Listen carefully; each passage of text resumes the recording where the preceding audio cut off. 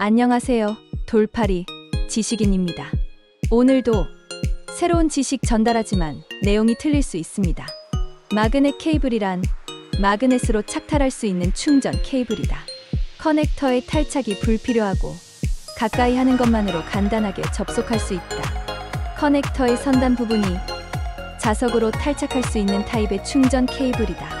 커넥터의 선단을 스마트폰이나 태블릿에 꽂아두고 충전할 때만 케이블에 설치하는 구조로 되어 있다.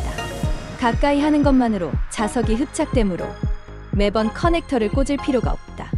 또 대응하는 커넥터를 꽂아두면 여러 디바이스를 하나의 마그넷 케이블로 충전할 수 있는 것이 매력이다.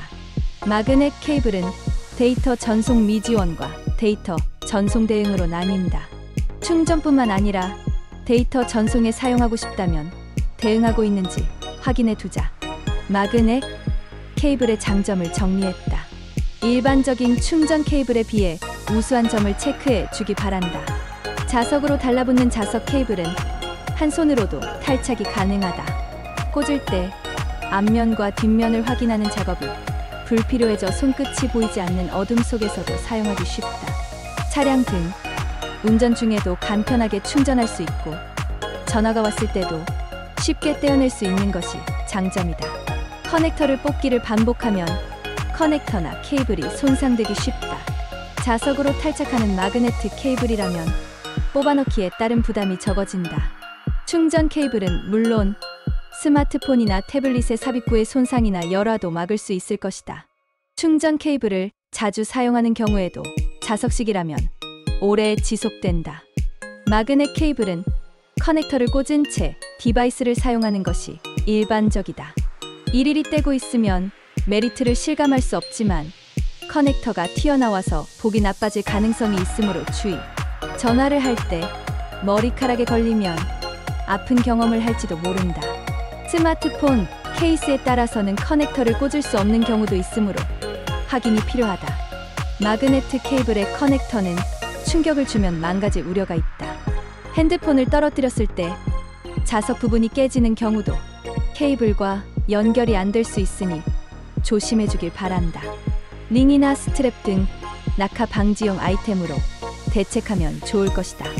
커넥터는 분리가 귀찮다. 고속 충전을 하고 싶을 때 등 유선 충전 케이블을 사용할 경우 불필요한 수고가 든다. 커넥터는 작기 때문에 분실도 걱정일 것이다. 빼고 꽂는 수고를 줄이고 싶다면 자석 케이블만으로 충전하는 게 좋을 것 같다. 소지하고 있는 디바이스에 대응한 커넥터를 확인해 두자. 또 커넥터와 케이블이 나눠져 있는 자석 케이블은 커넥터만 적합하면 된다.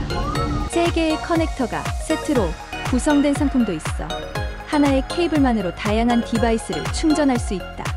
급속 충전을 지원하는 마그넷 케이블이라면 충전 시간을 대폭 단축할 수 있다. 갑작스러운 충전 끊김이 발생했을 경우에도 빠르게 대응할 수 있을 것이다. 다만 고속 충전을 지원하지 않는 디바이스도 있어 미리 확인이 필요하다. 또 데이터 전송에 대응한 마그넷 케이블을 선택하면 사진이나 음악 등의 데이터를 이행할 수 있다. 스마트폰과 PC를 접속해 데이터를 주고받고 싶다면 데이터 전송에 대응한 상품을 선택하자. 충전하면서 사용할 경우 케이블이 튀어나오는 것이 방해가 된다. L자 타입이라면 손에 잘 닿지 않기 때문에 쾌적하게 조작할 수 있다. 또한 회전하는 타입의 마그네트 케이블은 방향을 자유롭게 조정할 수 있어 추천한다. 게임 조작을 하거나 스탠드 등에 설치할 때에도 방해가 되지 않는다.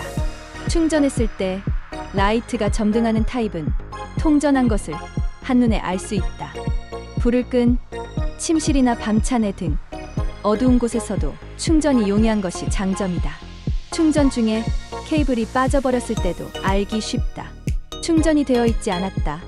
라고 하는 트러블을 예방할 수 있을 것이다. 마그넷 케이블은 탈착이 간단하고 커넥터나 케이블이 잘 손상되지 않는다. 스마트폰이나 태블릿의 삽입구가 열화하는 것도 예방할 수 있을 것이다. 하지만 이러한 장점뿐만 아니라 마그넷 케이블의 단점에 대해서도 미리 확인해 두고 싶다. 커넥터가 튀어나오는 것은 보기 흉하고 충격으로 망가질 위험이 있다. 분리가 귀찮아서 부지런히 떼어내는 쪽에는 적합하지 않다.